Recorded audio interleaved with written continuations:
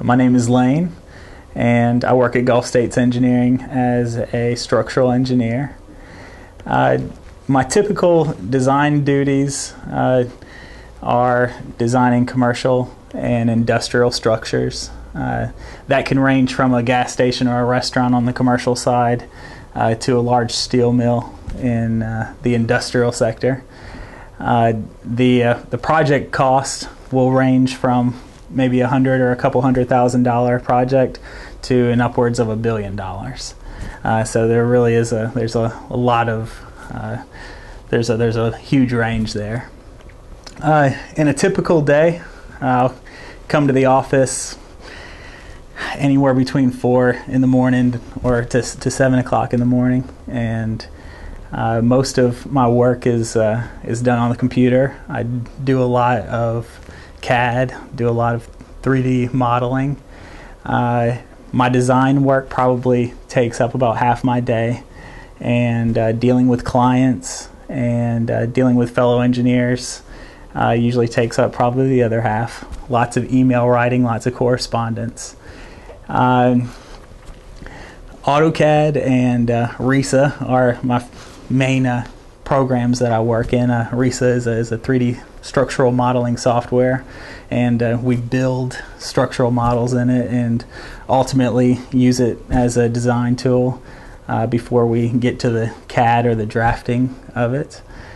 Um, the uh, the hours that I work can range from eight to nine hours and to upwards of 18 to 20 hours. Uh, the uh, you really are a bit of a slave to deadlines, and uh, if you want to advance in your career uh, as an engineer, you're expected to meet those deadlines.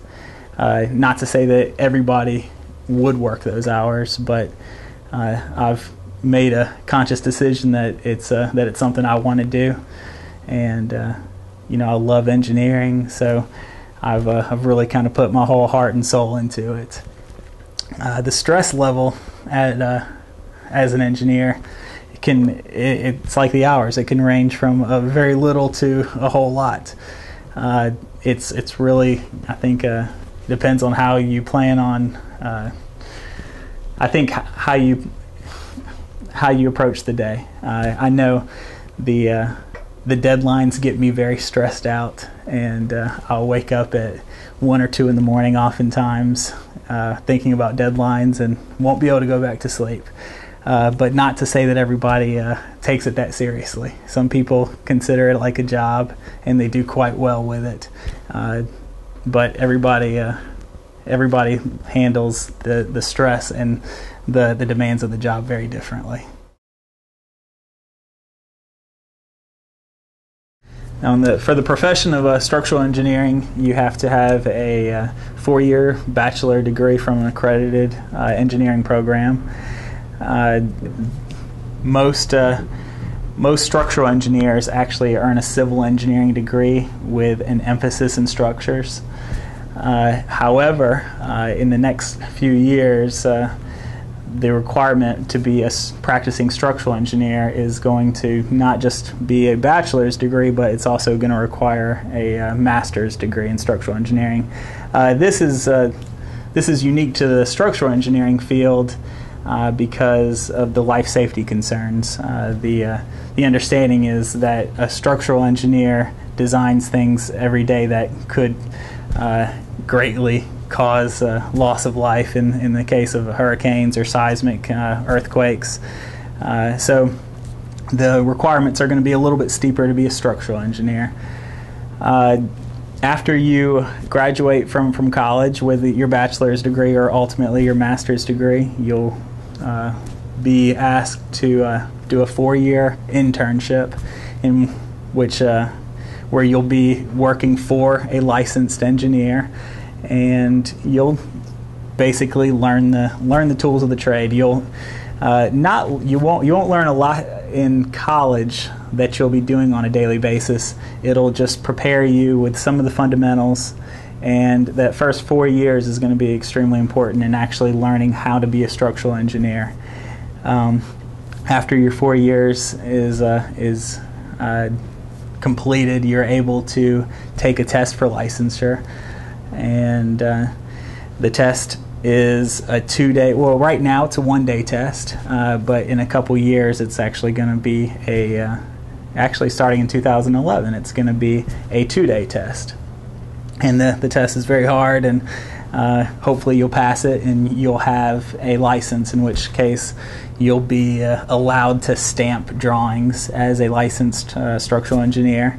And uh, if you decide to be an engineer, uh, unless you're going to work in, in some type of government capacity or in an industrial plant, most likely you'll want to get stamped or you'll you'll want to get licensed. Uh, it allows you to uh, to move forward in your career. It allows you to hopefully open open up your own business one day. Uh, now, the skills needed to be a successful structural engineer: good people skills, uh, the ability to communicate, the ability to work hard. A lot of people worry that the math prevents you from, uh, or people say that they can't be an engineer because of the math is too hard. Uh, in fact, I, I don't do as much math as, uh, as you might think.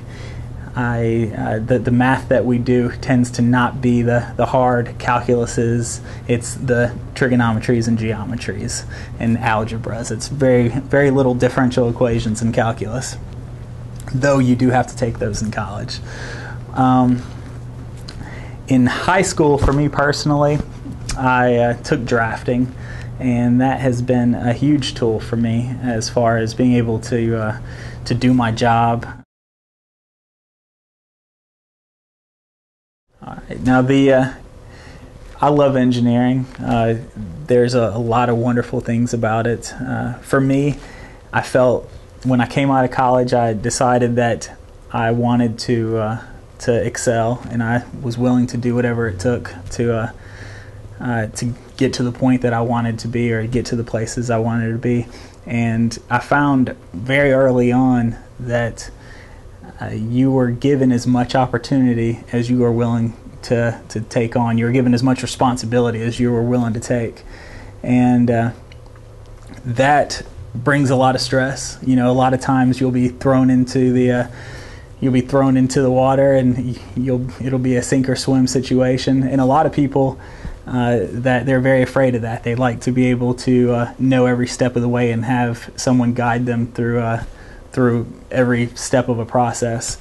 Uh, for me, I didn't feel like I needed that, and I made a lot of mistakes and uh, got into trouble for them. But I was I was willing to to do it, and ultimately, it allowed me to learn. and there was never a shortage of opportunities if you're willing to take advantage of the opportunities. Now, uh, the stress can can be uh, can be a little tough at times when you have a deadline and uh, there's there just doesn't seem to be enough hours in the day, and you're tired and it, you feel like uh, it's uh, everybody's looking at you and, and expecting something. It, it, can be very stressful, but uh, at the same time if you go into the profession understanding that that's a, a large part of it uh, and, and you embrace it and you take on the you can take on the pressure and uh, and welcome it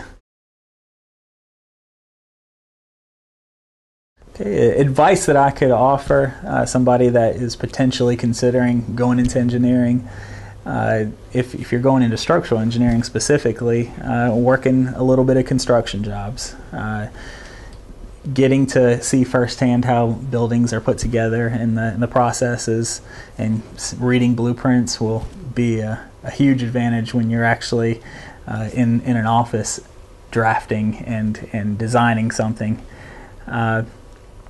Also, a, a, large portion of, uh, of what engineers do is just basic problem solving. Uh, when you consider things inquisitively and, and try to work through issues, uh, you can really train your brain to uh, to uh, consider, you know, how to solve problems and and exercise your brain. I, I do it all the time.